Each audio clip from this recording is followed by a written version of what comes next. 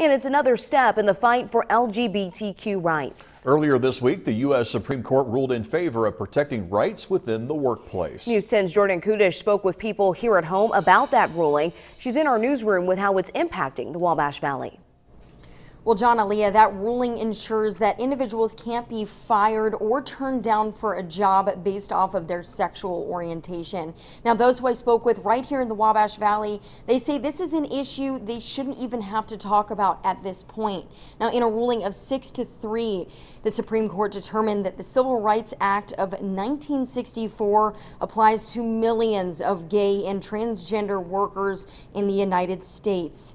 Now, to learn more about what this really means to those in the LGBTQ community, I spoke with Bonnie Wilson. She's been married to her wife for the last 10 years. Wilson says it's a victory for her community to be protected, but argues that no matter your sexual orientation or race, everyone should be treated with respect. You're hired to do a job, you're doing the job, that should be enough. Um, to be protected by the law because of who you are, that's just ludicrous to me.